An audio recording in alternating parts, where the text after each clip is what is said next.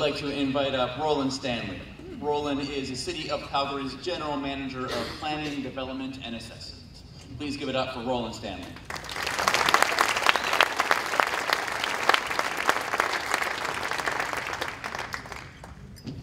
My name is Rollin Stanley and I had toast for dinner. Okay. So when is the last time you thought about globalization? The globalization of people. Where you live matters more than ever. The innovation economy has reversed the role of entire nations in two generations. While cities like St. Louis and Detroit, where I used to work in St. Louis, lost 700,000 people, in less time, Shenzhen, China grew from a sleepy fishing port to a city of 10 million. This is the factory in Shenzhen. 400 people work, eat, sleep, and go to the movies here. This is the face of globalization on the production side. Globalization has transformed how we invent, what we make, where it is made, who makes it, and who benefits. In 2012, 14 people jumped to their deaths at this plant. The company installed anti-suicide nets. This is the face of production, the end of globalization. 60 plus hour work weeks, mandated overtime, limited time off. And when the product arrives at your door, the only North American worker who has ever touched it is the UPS delivery man.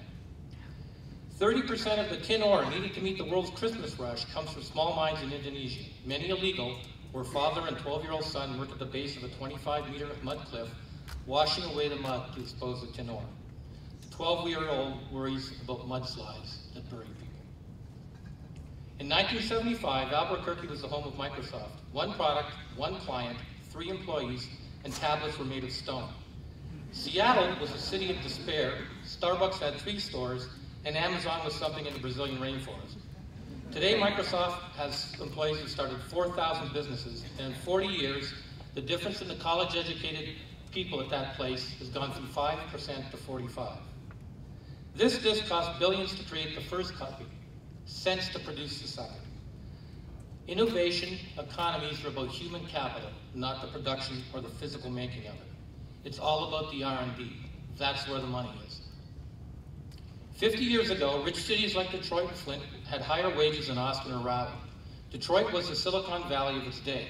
By 1975, an auto worker could produce two times as much for each hour of work than in 1946. Today, there are hundreds of auto factories around the world, but very few innovation clusters. The global economy is about creating innovation clusters like Silicon Valley or Cambridge, which are not easy to move. Shifting the production of innovation to lower cost regions is. Clustering fosters innovation. While the internet is estimated to generate 2.6 jobs for every job destroyed, traditional manufacturing only generates 1.6 local service jobs, paying lower salaries. 10% of all USA jobs are in the innovation sector. At the height, manufacturing was only 30%. It is estimated that 67% of the 27 million jobs created over the last 20 years have been innovation jobs. Where is Calgary in that? Are we innovating or are we service sector? In 1980, Rochester, New York was the hub for optical imaging. Kodak employed 62,000 people. They now employ 7,000. Kodak did not innovate and Detroit failed to capitalize on its advantages. By 2050, it is estimated there will be more laundry workers than people working in manufacturing in North America. The world is flat. Globalization is about communications, meaning geography matters less. Levi's opened in San Francisco during the gold rush in 1853. 148 years later, they closed because they cannot compete with manufacturing in Asia. But the jeans are still designing. Will Apple build cars in North America? The first 50 Apple I computers were built in a bedroom in this house and sold for $500 each. Production shifted to the garage, then Cupertino, Fremont, cheaper Colorado locations, then Ireland, Singapore, then China. The production end of the innovation economy moves. There are 12,000 Apple employees at Cupertino, generating 6,000 local service sector jobs. And yes, they're considering building cars. 90% of laptops and notebooks are made by one of five Chinese companies. This map shows the global suppliers for Apple. The geography of production shifts.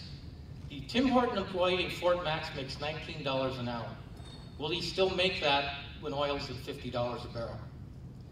Facebook has 2,500 employees. They generate 50,000 jobs in the app field and 130,000 related service jobs. 12 billion in salaries and benefits. US software jobs have grown by 562% in 20 years. Are we failing in Calgary to redirect our ecosystem into something new?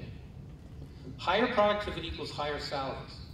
Microsoft employs 40,000 people in Seattle, about twice as many, or sorry, twice as less than Boeing, but they generate 120,000 service sector jobs. If you are entering a tech degree this year, half of what you will learn will be outdated by your third year. Where do you see Calgary moving forward to take a leadership role? San Francisco has changed three times. In the 1970s, it was professional and financial. The 1990s, hardware. Now 70% of the jobs are high tech, clean tech, cloud computing. Bill Gates said to Congress, my basic view is the country should welcome as many people making over 100,000 a year paying taxes and creating other jobs as we can get. In India, has more honors students than we have students in North America. They're going to graduate hundreds of thousands of engineers in the next few years. Are we training for that next economy? I raised two questions tonight. There will be four types of cities in the future, brain hubs, low tech, the undecided city, and energy cities.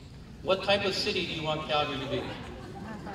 The second question, the decisions you make every day impact the innovation economy. Are your decisions ensuring globalization benefits everyone? Remember that factory and the 12-year-old boy? There were 12 million iPhone 6s sold the first weekend made at that factory from tin from those mines. At 650 US, Apple makes 300 in profit on every phone. Factories spend $5 to put them together. 72% of Apple revenue comes from this iPad and, and the phone, and the iPad and the phone, and neither existed eight years ago. Did you line up to get one?